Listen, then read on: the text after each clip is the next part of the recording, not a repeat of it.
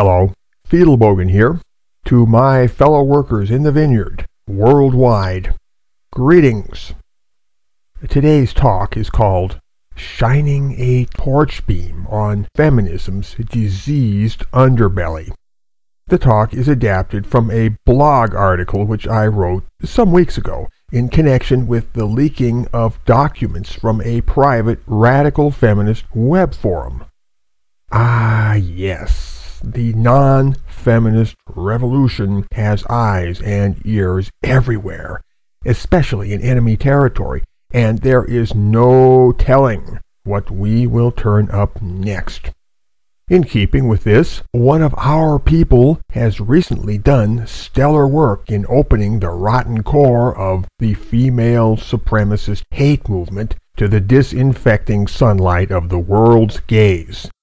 Our man behind the scene goes by the name Agent Orange. He has seen much indeed behind the scene, and his summary of the scenery gets to the point. When, when you see what feminism really is, you cannot unsee. As you might recall, A Voice for Men ran some articles exposing a radical feminist writer, Vliet Tiptree, and a very disturbing post which she published on a radical feminist blog called RadFem Hub. In her blog post, Vliet Tiptree muses elliptically upon the worthlessness and ultimate disposability of the male sex, and seems to insinuate that male genocide, or at least a radical eugenic engineering program, might be in the cards. Various pro male partisans then conducted a search of the public record and found out that Vliet Tiptree was in fact Pamela O'Shaughnessy, a prominent California lawyer and best-selling novelist who has been published by Simon & Schuster and reviewed in the New York Times.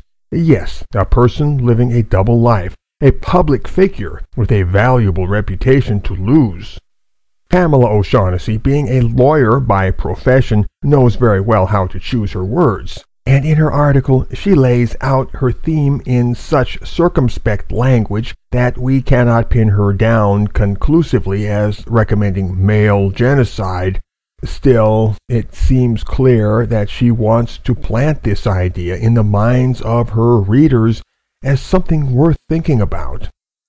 In the comment thread that follows the article, readers are quick to oblige, and their manner of expression is less guarded. All of this is old news, but it sets the stage for our present story. Briefly then, the enterprising Agent Orange has accessed a members-only discussion forum attached to the RadFem Hub website. Yes, this is a war, and in war, espionage happens. The name of the forum is Women's Lives Matter slash Women's Life Matters and it is populated by the most extreme radical lesbian separatists you can imagine. We shall abbreviate the forum's cumbersome title as WLM. Agent Orange, in his investigation, has read the forum encyclopedically from one end to the other, made notation of significant matters, and downloaded the entire content for the perusal of other pro-male partisans including myself. Agent Orange has made available 150 megabytes of computer files from the WLM forum. This material has been posted on the internet so that anybody on Earth can download it, study it, and discover at first hand what kind of people radical feminists really are. The link for downloading is in the low bar of this video. Pamela O'Shaughnessy enters into this, as you may have surmised, and in due course I will address that. But first things first. The soon-to-be revealed material is what you get when you boil down feminism to its dark, unadulterated essence. It is the hard, sticky, foul-smelling residue at the bottom of the pan. Contrary to what so many feminists will tell you, it is indeed really feminism as real as feminism gets, as real as you will ever find anywhere. and whoever informs you otherwise is redirecting your attention away from the little woman behind the curtain. All right, what we have here is a group of women who hate men so violently that they must talk in secret amongst themselves. And they cannot let the outside world hear. Even other feminists who perhaps hate men only one half or one quarter as much as these ones do cannot be admitted to the inner sanctum. Huddled in a self referential intellectual masturbation circle, out of the sight of non feminist men and women, their sickness is plainly apparent. They go through life looking for validation, seeing only what they need to see, ignoring all evidence or dismissing all theories that might guide their understanding toward a different conclusion. They are blocking, filtering, maneuvering, and cherry picking, or in a word, rationalizing. And why? Well, clearly because they do not wish to learn the truth about themselves. Isn't that just good old fashioned human nature? Theirs is the frustration of spoiled children who cannot always get their way. The world, or as these radical feminists would say, the patriarchy, somehow always outmaneuvers and defeats the poor little brats. And why wouldn't it? The world is so much bigger than they are, and in the end, that word patriarchy seems little more than a placeholder for anything of a plausibly male origin which frustrates me. In classic feminist form, they cannot separate the personal from the political. Men have hurt them? Oh, my goodness, haven't they figured out yet that people hurt each other all the time in this hurtful world? They must learn to deal with this. It's called growing up. Yes, it is true that men have hurt women. It is also true that women have hurt men. Oh, and men have hurt other men, and women have hurt other women. So the traffic runs in four different channels. As I say, eh, people hurt each other all the time. They do this every which way from Friday. So if the radical feminists are hell bent upon revenge, why don't they just hunt down all the men who have hurt them one at a time and hurt them right back? And that seems like the way to do it, if you want my opinion. But I should be very, very careful what I say here, or they will be hunting for me too, poor dears. These feminists make no bones about stating that men are the problem. They lay it on the line just as pretty as you please. Examples follow.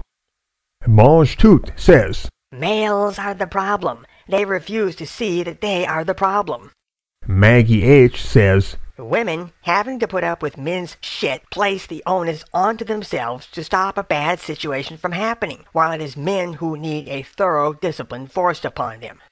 White Tiger says, Men have the same designation, in my view, of annoying rodents. Journey Mistress says, Men are assholes. That last part bears repeating. Men are assholes. Argina says, Men are self-centered assholes who expect you to cater to their every whim. Dawn's Sister says, I'll take any revolution I can get. Any revolution that removes most of the males will do just fine. Well, I could go on and on with these samples, but you get the idea. And no, putting them back in their context will not improve them. They are every bit as bad as they sound, and the people who wrote them are ten times worse. Truly, it is a mark of narcissism when you cannot admit that you are wrong at least some of the time, and it is a mark of female narcissism in particular when you cannot admit that women are wrong at least some of the time. And the people cited above are guilty on both counts. How quickly the personal becomes the political. Yes, my own observation has been that the stereotypically destructive qualities which certain folklore ascribes to women in general cluster more thickly around feminist women. For indeed, there is a stratum of women which has always given the female population a bad name, and these people have been called different things at different times. In recent times, they've gotten politically organized. And yes, feminism is the name they have given to their gig. The hatred of men and all things male, so patently displayed in the WLM forum, is also seen among mainstream feminists when they converse or otherwise express themselves. However, you'll not often find it so concentrated. Normally, the misandry will appear in subtle flashes and fleeting innuendos. It will be heavily watered down as a pervading moral undertow, seeping through the culture like tainted outflow from a sewage treatment plant. Almost never is it so crudely vitriolic and sustained as what we are now revealing. Here we learn what feminists say to each other when they think the world isn't listening. We should lay to rest the silly notion that such feminists as these are only fringe radicals or extremists, and that we mustn't judge the entire movement by them. My question is, why shouldn't we judge the entire movement by them? What do the milder feminists really amount to? Anything much? What does a heap of feathers amount to compared to a cannonball? What really fuels feminism anyway? Is it driven unstintingly forward by grooviness and mellowness, by fun, fluffy, happy feelings? Or does it run, let us say, on pure hate, pure spite, pure malevolence, pure malignancy? Well, you get the idea. Darker emotions? Well, do you reckon the earnest feminists with their philanthropic gynergy got this big thing rolling 50 years ago all by themselves and have been the central driving force ever since? And do you suppose that a few disaffected souls, a mere handful, gravitated toward this upbeat, positive social movement after the fact and got the notion to lurk around the fringe just to confuse us about the truly wholesome nature of it all? Say what you will, but I am partial to the old maxim that happy people don't make history. And which is more, I've got some experience with feminists. I have studied them, as chaps like me will do, and I have logged a few years in this trade, and I can attest that feminists are all alike. Monolithic, you might say. They vary in superficialities but under all those sheathing layers lies the high conductive cable core on which the feminist message travels. It is the same message every time. Every feminist I have ever personally encountered or been informed of differs from the rad fems we are now studying only in the strength of the underlying signal. One way or another, let them veil it ever so artfully, the message never skips a beat. Men are the problem. Men are the problem. Men are the problem. The complexly braided Radfem story about men, patriarchy, and all the rest is the core of the entire feminist narrative. As such, it is the core of the entire feminist enterprise.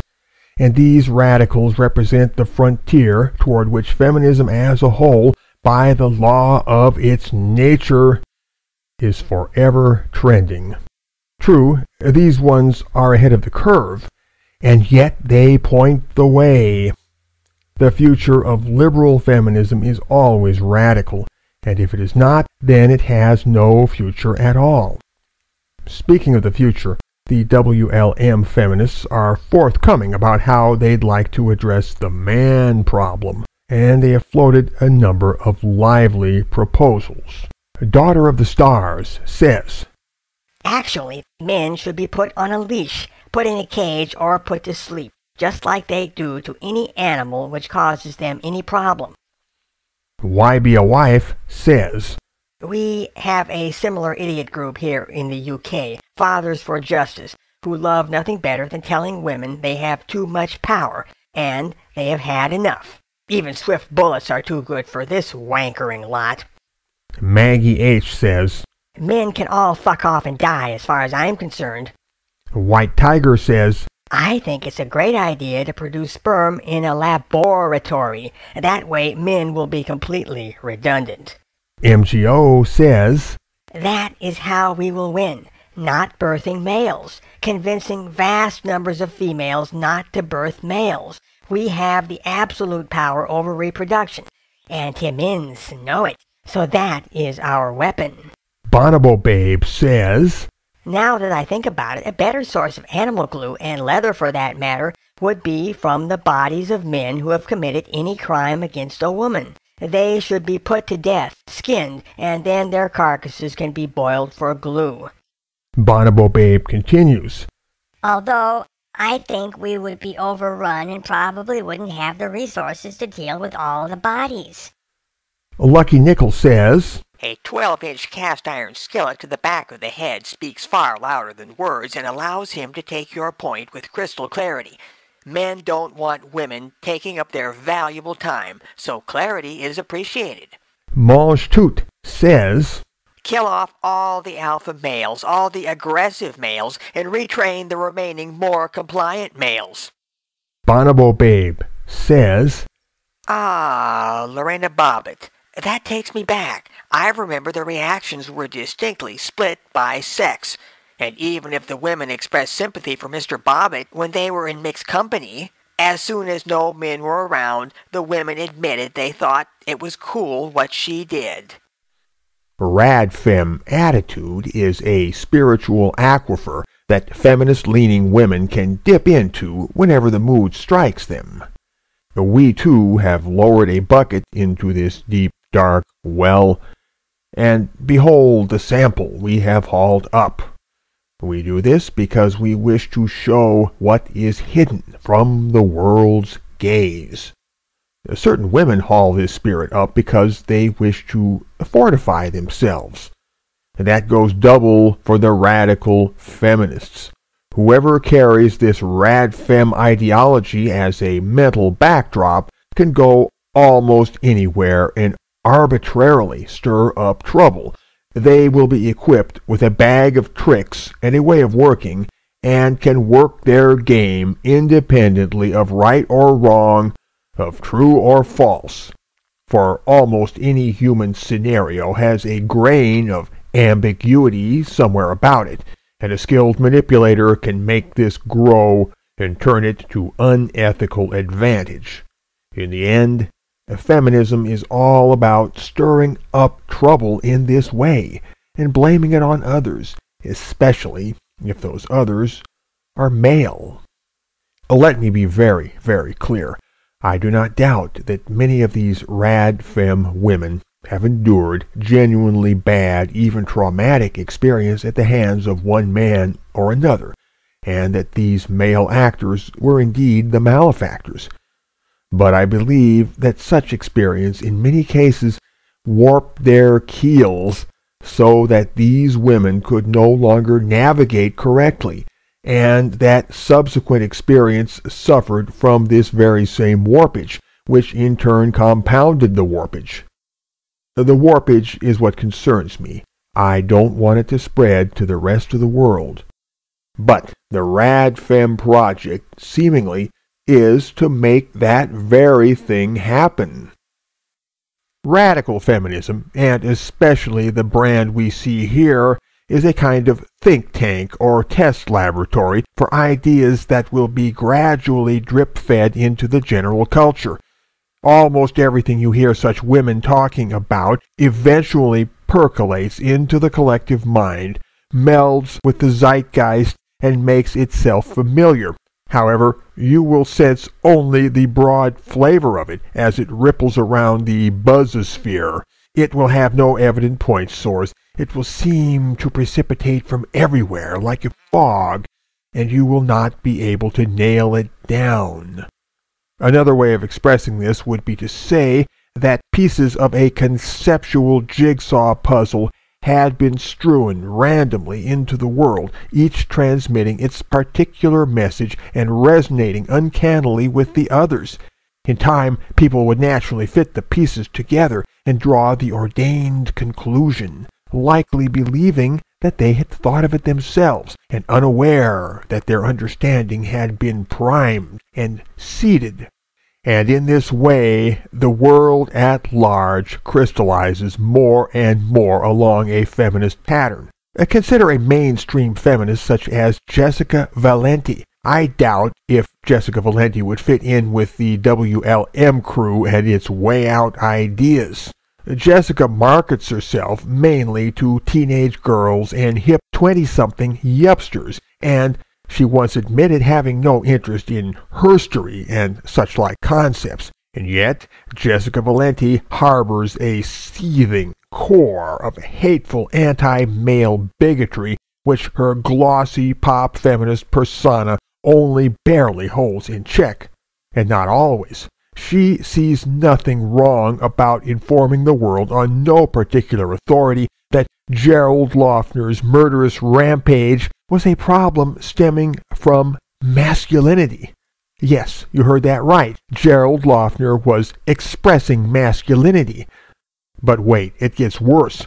On another occasion, Jessica Valenti strongly implied that men merely accused of rape should forfeit the presumption of innocence and bear the burden of proof when they go on trial.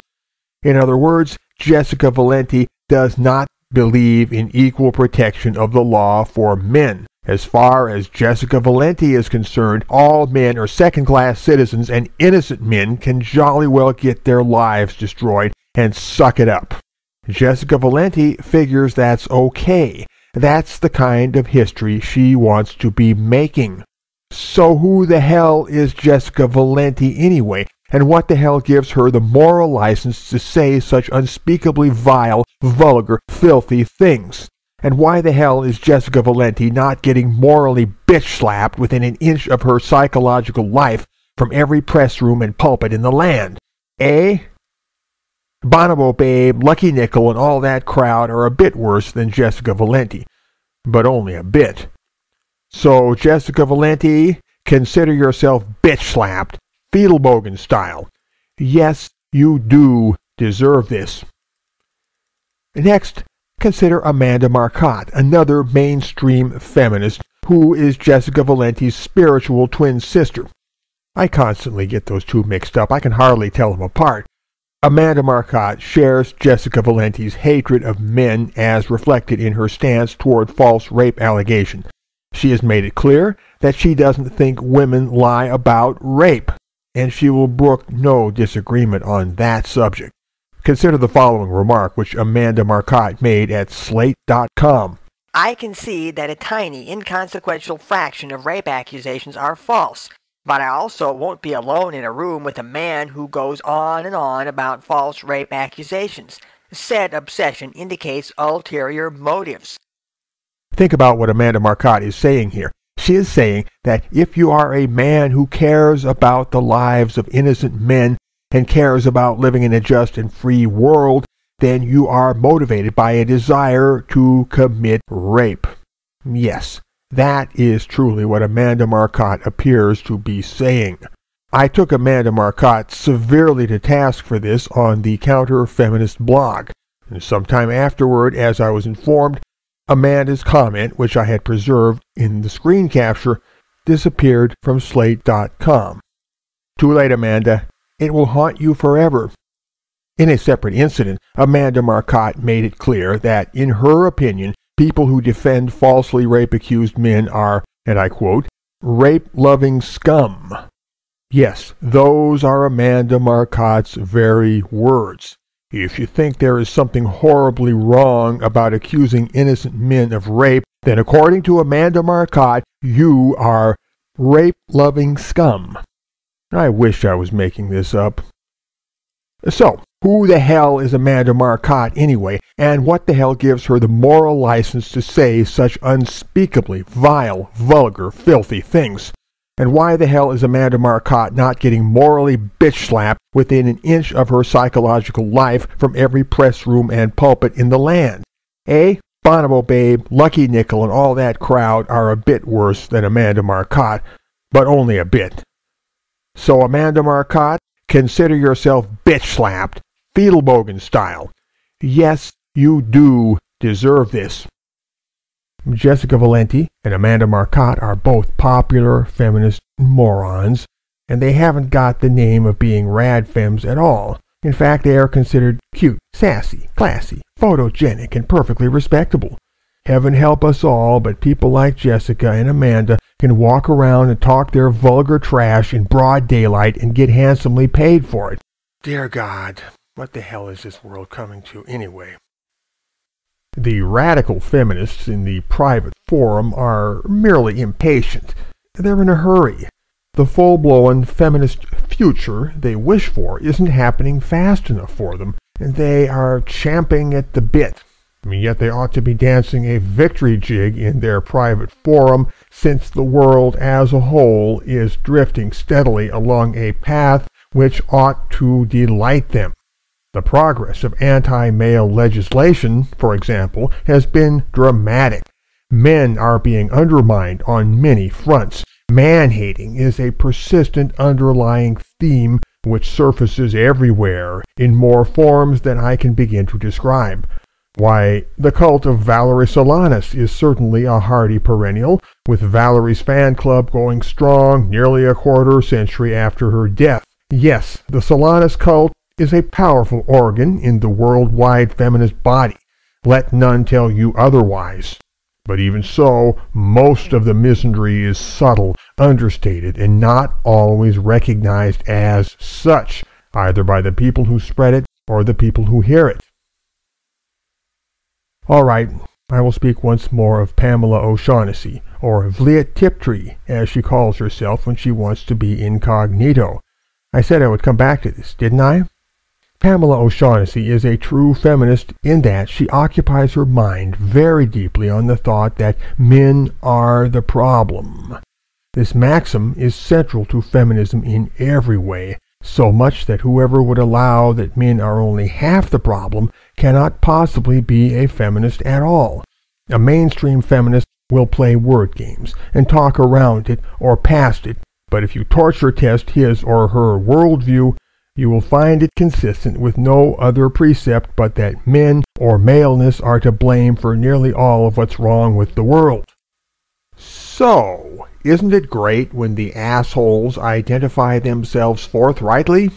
I am talking about the private forum crowd here, and although they think they are conversing in secret, they at least admit their true opinion to themselves and to each other, which is more than some people do. So we know that Pamela O'Shaughnessy in her RadFem Hub article has tiptoed lead-footedly around the subject of male genocide. Certainly, to reduce male numbers or genetically engineer the evil out of men would strike the root of the man problem very radically indeed.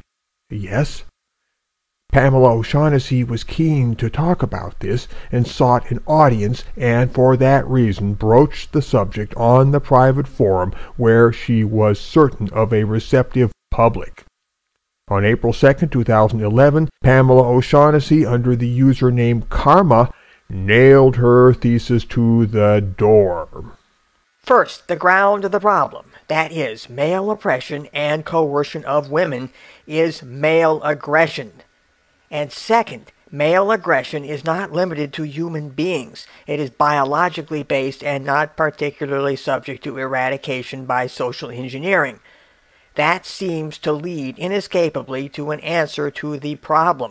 Male oppression must be clearly defined and understood to be pathological. One writer calls its manifestations in humans an encapsulated psychosis. It needs to be recognized as a deviation from the norm, the aggression levels of females, that may be correctly called a mental illness. Call it the Y syndrome, maybe. Then it must be cured, and we are very close to having a cure. A genetic modification that will cure the deficiencies of the Y syndrome, which lead to overexpression of male hormones, which leads to the primary objection there is no way to administer such a cure. Such a cure will never be voluntary, just as treating other severely mentally ill people cannot always be voluntary. People who are dangerous to themselves and others have little insight into their condition and may have to be restrained and treated without their consent in many cases. It is impossible for male humans to have the needed insight. My thought in response to that objection is, due to the historic circumstances, the cure will have to be administered. Sure enough, other forum members took the bait with gusto. Pamela knew her public all right. So the talk went on for a while. Pamela pondered this and that, and six months later, on October 4th, 2011, she published her now infamous guest post on RadFem Hub. And you know the rest of the story. Now, I would not have you think there is anything new about the ideology Pamela O'Shaughnessy has laid out. This is classic RadFem fare, which we've known in various shapes for many years, although it is indeed, if you will, the most radical of radicalisms. But still, stuff like this is not generally known and to find such a great sample all bunched up in one place is a mighty windfall. In fact, it is a golden opportunity for those such as myself who want to make the world see what feminism really amounts to at its rotten core. There is furthermore the disquieting hint that these radical women are not merely talking about these things. That is, they are not just speculating in their armchairs. The passionate seriousness of their tone is not to be mistaken. Pamela O'Shaughnessy herself hints at global groups and networks, and our own investigations, spearheaded by Agent Orange, have uncovered an intriguing web of connections, an international rabbit hole that goes deeper and deeper, with passageways reaching into sites of power and influence that would surprise you. The release of the Agent Orange files has thrown a shaft of sunlight into places little known, and it permits people to form their conclusions. It remains to ask whether I think the implied scenarios ever would or could become real. My answer is no, probably not. It is seriously to be doubted that rad fem male genocidalists will ever get the future they dream of, or anything close to it. So my present motivation is twofold. Uh, firstly, to have a care about the havoc these people might wreak in merely trying to get their way. And secondly, to awaken the general public to the presence of such people on the same planet with themselves, and to make that same public ponder the implications of such a thing. What is perverse and dangerous about these people, and really all feminists, is that they consider themselves literally more infallible than the patriarchal Pope of Rome himself. What monstrously swollen egos they have, these ones. Men are mentally ill. Men cannot grasp objective reality. Therefore, men must be engaged by methods of deceit. Such is their conclusion. They know for a lead pipe fact, at least in their own minds, that they are dead right and the rest of the world is dead wrong. That is disturbing to think about, but if you think carefully, it is a tremendous gift which greatly simplifies our lives. In a nutshell, it means that they will never engage us in good faith. Did you catch that? They will never engage us in good faith. And by not doing so, they release us from any obligation to engage them in good faith. That's a head spinner. Don't you think so? Chew on the implications of this. Grind it small in your mind. It means that this entire business is naught but realpolitik, a pure game of power and very little else. That is how they play it and that is how we too are entitled to play it. But for some of us, this is old news. We've known it for years. Fidelbogen, out, out, out, out, out, out, out, out, out, out. Hello, Fidelbogen here. To my fellow workers in the vineyard, worldwide, greetings. Today's talk is called Shining a Torch Beam on Feminism's Diseased Underbelly. The talk is adapted from a blog article which I wrote some weeks ago in connection with the leaking of documents from a private radical feminist web forum. Ah, yes, the non feminist revolution has eyes and ears everywhere especially in enemy territory, and there is no telling what we will turn up next. In keeping with this, one of our people has recently done stellar work in opening the rotten core of the female supremacist hate movement to the disinfecting sunlight of the world's gaze. Our man behind the scene goes by the name Agent Orange. He has seen much indeed behind the scene, and his summary of the scenery gets to the point. When, when you see what feminism really is, you cannot unsee. As you might recall, A Voice for Men ran some articles exposing a radical feminist writer, Vliet Tiptree, and a very disturbing post was old news, but it sets the stage for our present story. Briefly then, the enterprising Agent Orange has accessed a members-only discussion forum attached to the RadFem Hub website. Yes, this is a war, and in war, espionage happens. The name of the forum is Women's Lives Matter slash Women's Life Matters, and it is populated by the most extreme radical lesbian separatists you can imagine. Uh, we shall abbreviate the forum's cumbersome title as WLM. Agent Orange, in his investigation, has read the forum encyclopedically from one end to which she published on a radical feminist blog called RadFem Hub. In her blog post, Vliet Tiptree muses elliptically upon the worthlessness and ultimate disposability of the male sex and seems to insinuate that male genocide, or at least a radical eugenic engineering program, might be in the cards. Various pro-male partisans then conducted a search of the public record and found out that Vliet Tiptree was in fact Pamela O'Shaughnessy, a prominent California lawyer and best-selling novelist who has been published by Simon & Schuster and reviewed in the New York Times. Yes, a person living a double life, a public figure with a valuable reputation to lose.